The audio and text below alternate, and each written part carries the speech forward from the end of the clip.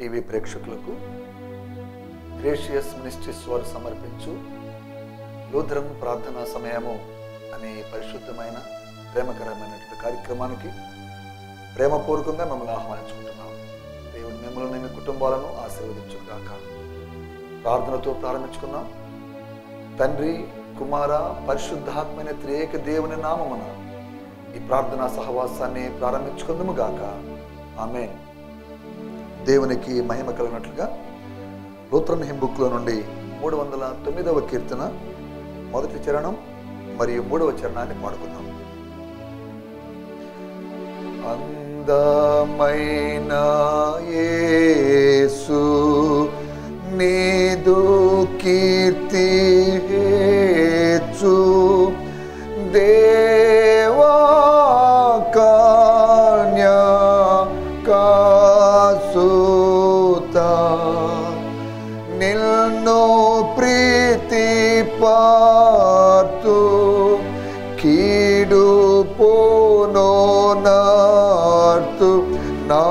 आत्मा को की रीटा सूर्य चंद्र लाना वाणी कांति काना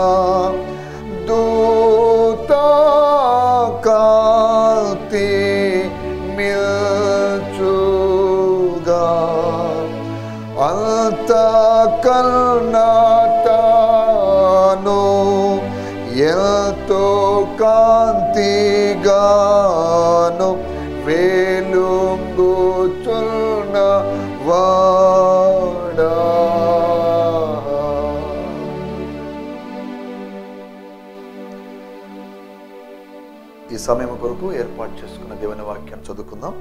అది యోహాన్ రాసినటువంటి సువార్త ఐదవ అధ్యాయము ముప్పై తొమ్మిదవ వచ్చిన చదువుకుందాం.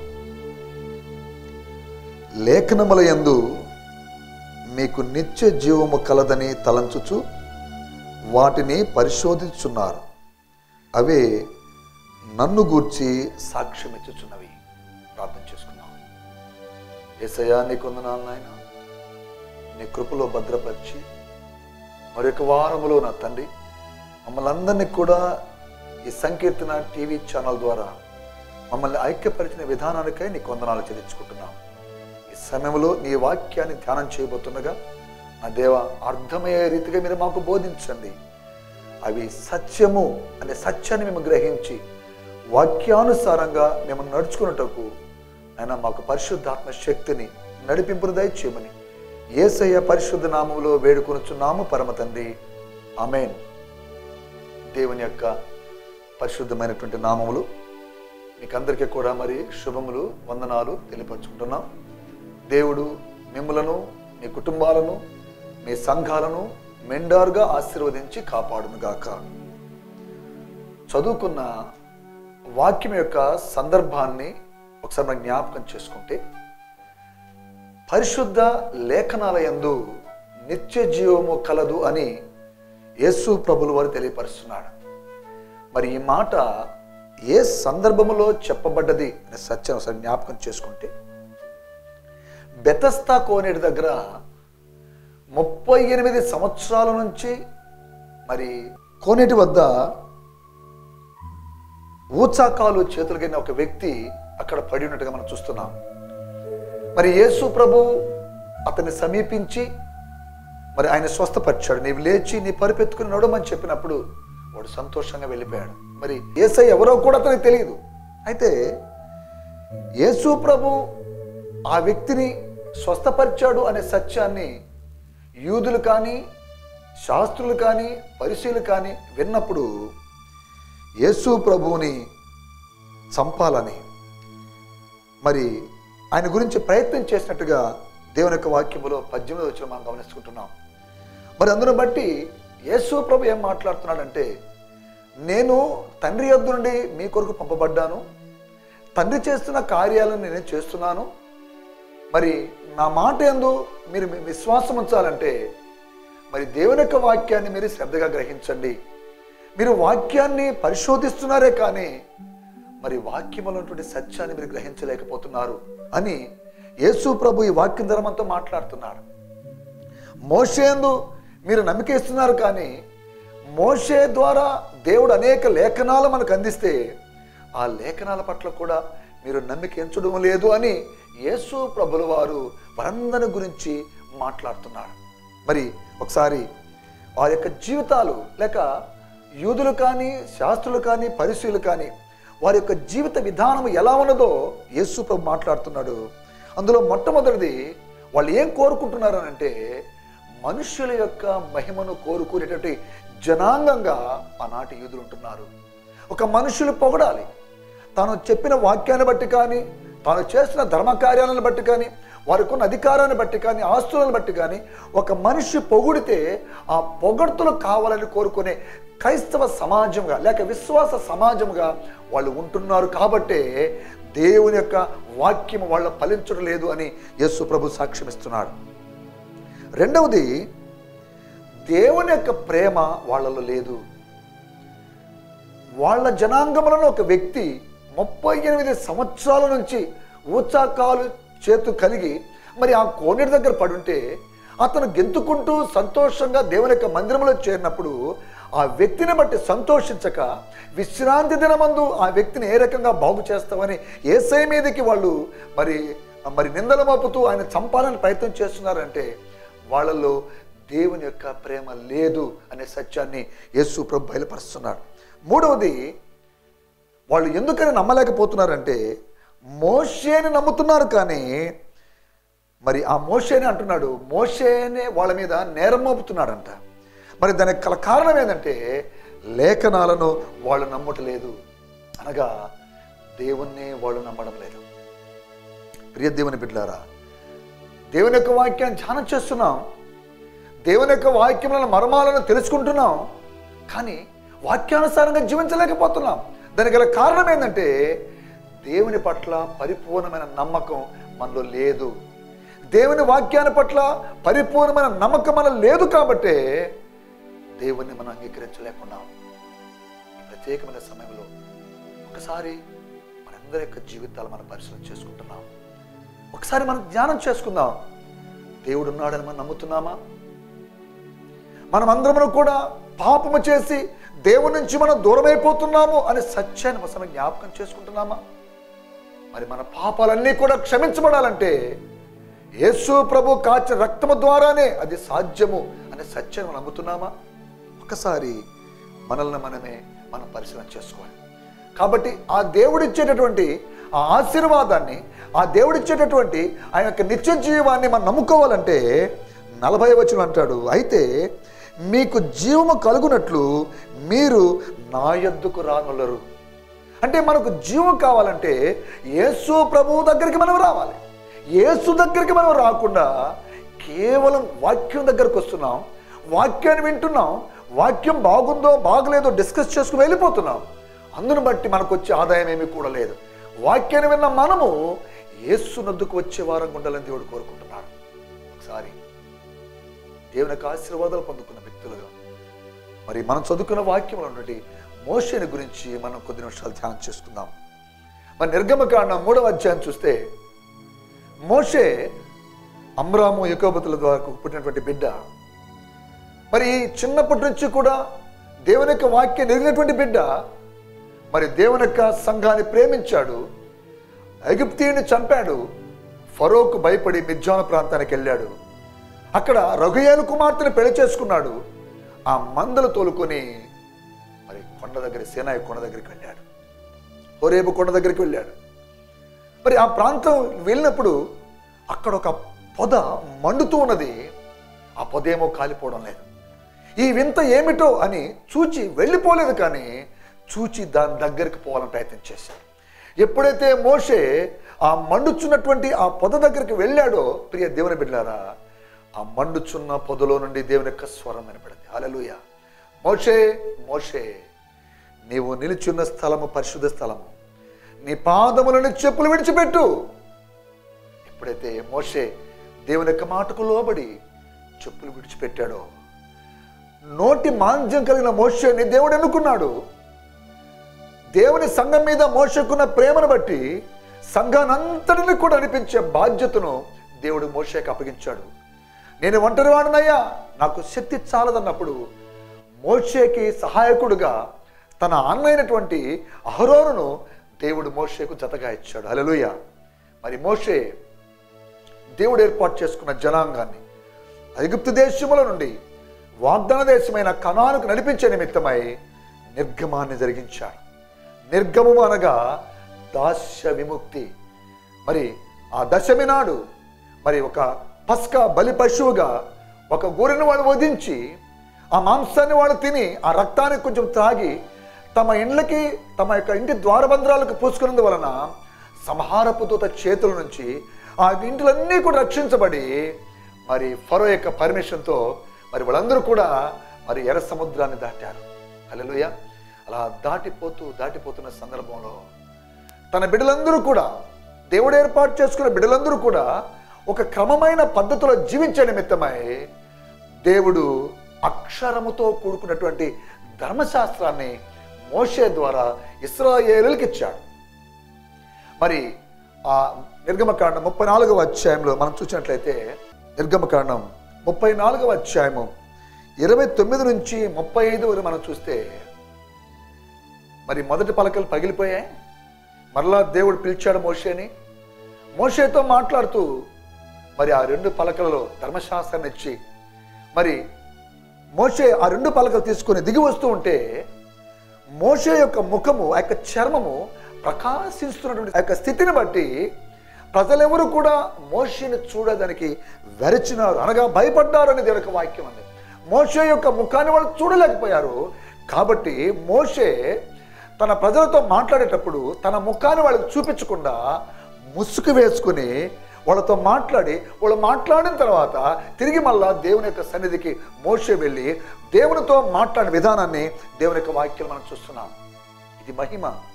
అయితే ఈ మహిమ అది రోజు రోజుకి తగ్గిపోతుందనే యొక్క వాక్యంలో రాయబడింది. మోషే యొక్క ముఖము ప్రకాశించిన విధానము మరి ఇది రోజు రోజుకు కూడా తగ్గిపోతుందని దేవుని యొక్క వాక్యం మనం చూస్తున్నాం. మరి కొరింతలు రాసినటువంటి రెండవ పత్రిక మూడవ అధ్యాయములో మనం చూస్తే ఆ పన్నెండవ వచ్చిన చూస్తే తగ్గిపోవచ్చున్న మహిమ యొక్క అంతమును ఇస్రాయేలీలు తేరి చూడకుండానట్లు మోషే తన ముఖము మీద ముసుగు వేసుకునేను.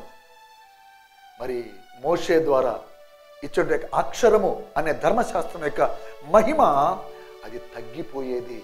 అది తగ్గిపోయేది. అయితే దేవుడు ఏర్పాటు చేసుకున్న జనాంగము ఈ రోజు కూడానంట వాళ్ళు.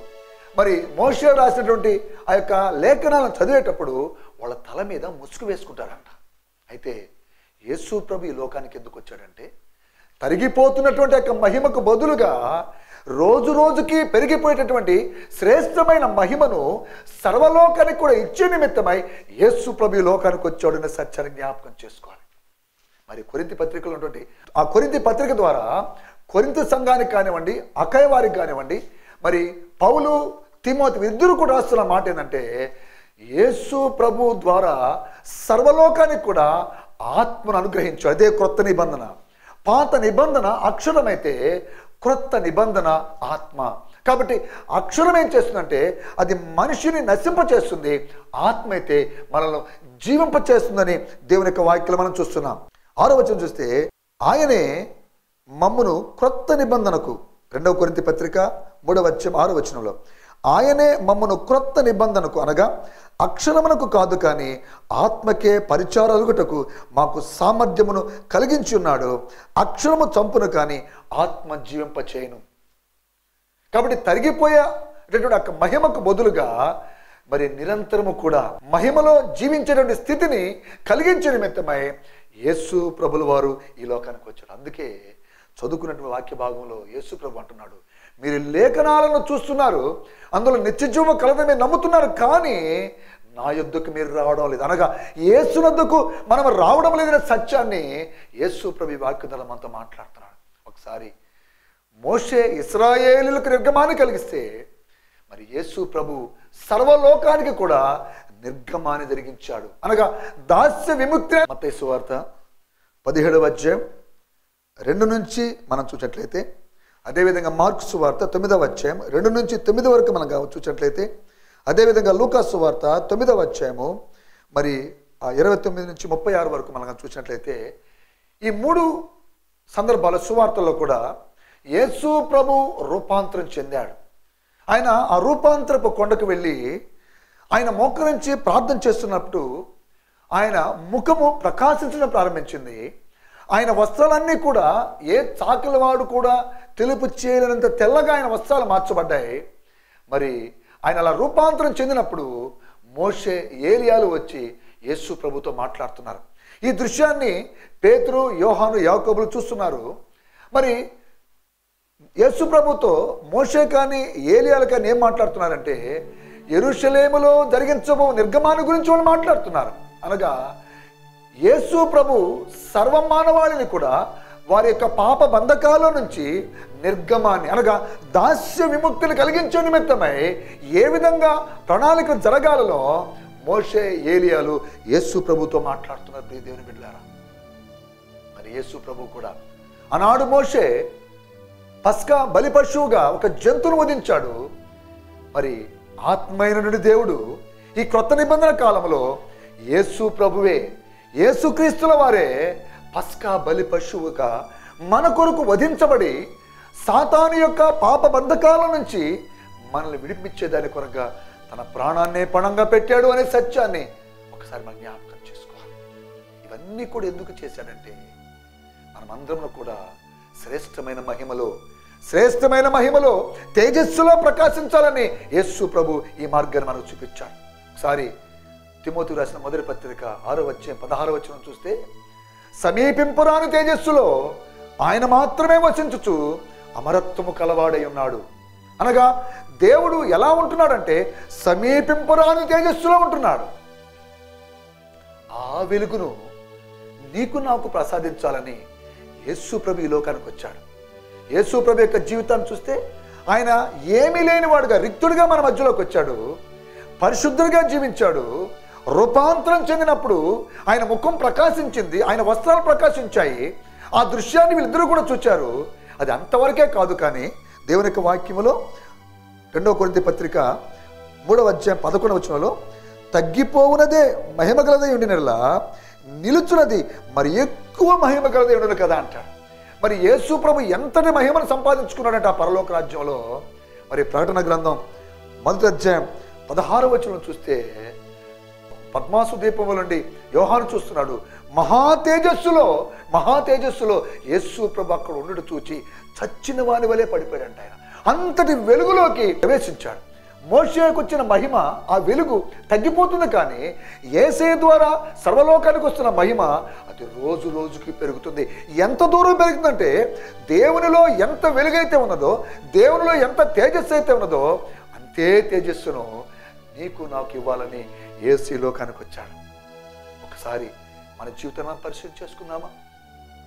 యేసు నీ కొరకు నా కొరకు ఆయన ఇంత శ్రేష్టమైన ఆశీర్వాదాన్ని ఎన్ని మెట్లు దిగుచ్చి అందించాడో ఒకసారి జ్ఞాపకం చేసుకొని ఆ వెలుగు కొరకు మనం ప్రయాసపడాలి.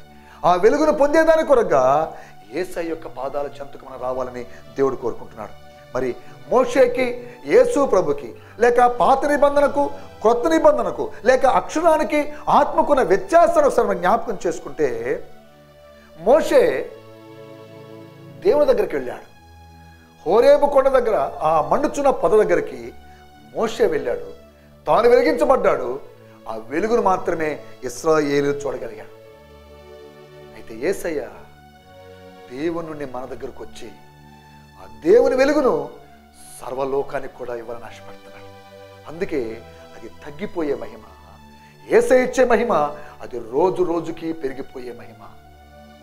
ఏసై ఇచ్చే వెలుగు సర్వలోకాన్ని కూడా ఆయన వెలిగివ్వాలని ముందుకు వస్తున్నాడు.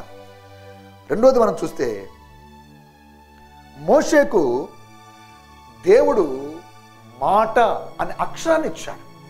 ధర్మశాస్త్రము అనే అక్షరాన్ని ఇచ్చాడు మోషేకి. మోషే ద్వారా తన ప్రజలకు ఇచ్చాడు. ప్రియ దేవుని బిడ్డరా మరి ఏసై అయితే ఆ మాటే ఆ అక్షరమే ఆ వాక్యమే శరీరధారి మన మధ్యలోకి వచ్చాడు ఎంతటి మహిమ ఎంతటి మహిమ అక్షరానికి ఆత్మకు ఎంతటి తేడా ఉన్నదో ఒక్కసారి మనం గ్రహించాలి.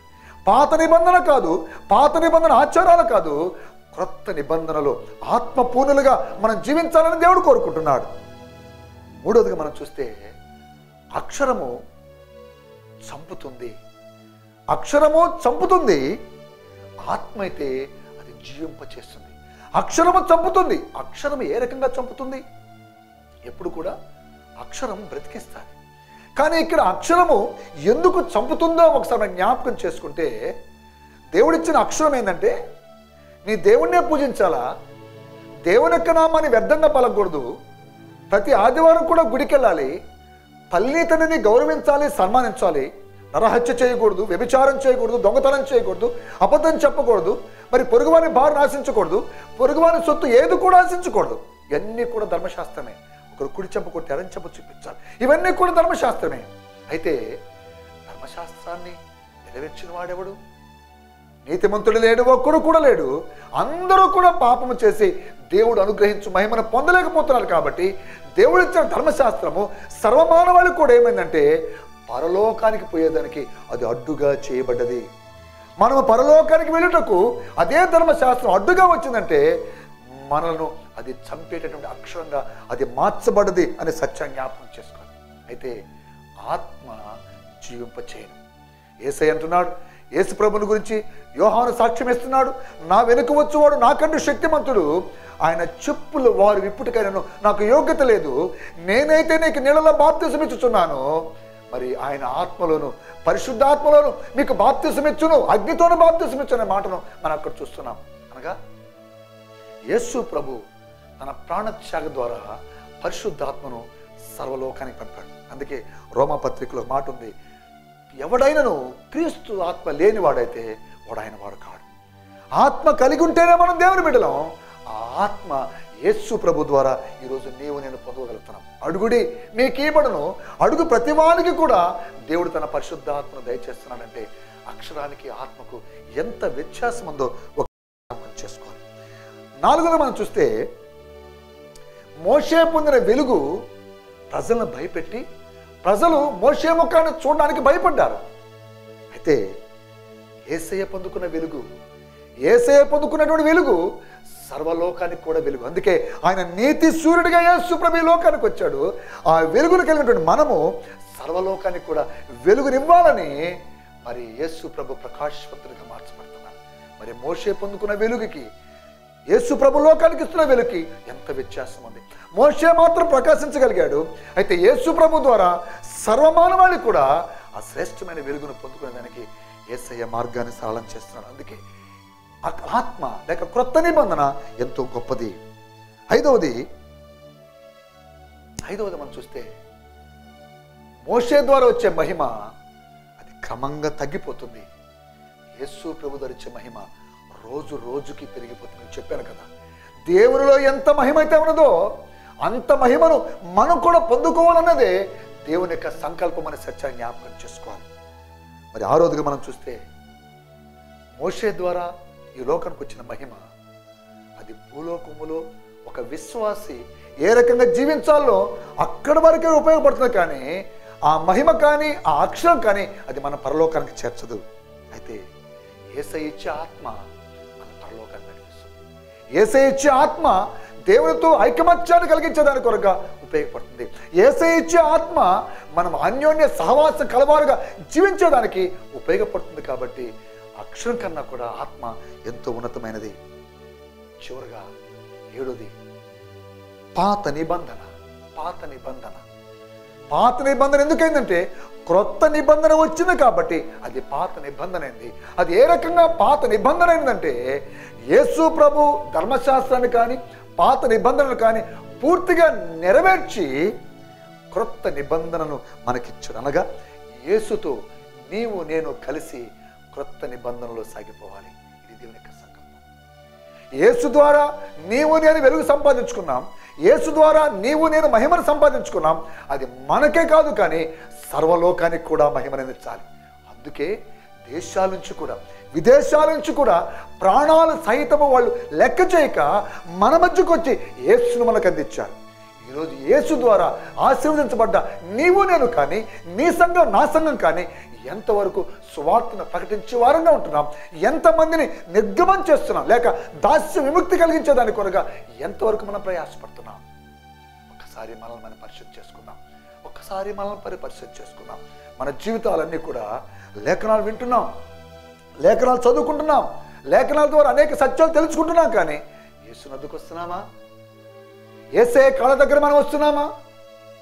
ఒకసారి జ్ఞాపకం చేసుకొని మనుషుల మెప్పు కాదు మనకు కావాల్సింది. మనుషుల మెప్పు మనకు కాదు కానీ దేవుని యొక్క మెప్పు మనకు కావాలి.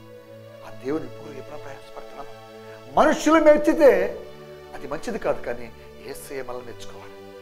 బలా నమ్మకమైన మంచి దాసుడా అని ఏసే మనం మెచ్చుకుంటే దేవుని ప్రేమ మనలో ఉందా? ఒకడు బాగుపడితే ఓర్చుకోలేకపోతున్నామేమో ఒకడు సుఖంగా ఉంటే ఓర్చుకోలేకపోతున్నామేమో ఇది దేవుని మనసు కాదు. దేవుని ప్రేమ కాదు. దేవుడు దూరమై పాపానికి శాపానికి లోనై ఎంతమంది ఎన్ని కష్టాలు అవమానాలు కూరుకుపోయి ఉంటున్నారో వాళ్ళకి దేవుని ప్రేమను చాటుతున్నావా? వాళ్ళకి దేవుని ప్రేమను చాటుతున్నావా? ఒకసారి జ్ఞాపకం చేసుకో. దేవుని ప్రేమను మనం చాటాలి మూడవది దేవుడున్నాడు సుమా. దేవుడున్నాడు. ఒకసారి నీ కనులు పైకెత్తి ఆకాశం వైపు ఒకసారి చూడు.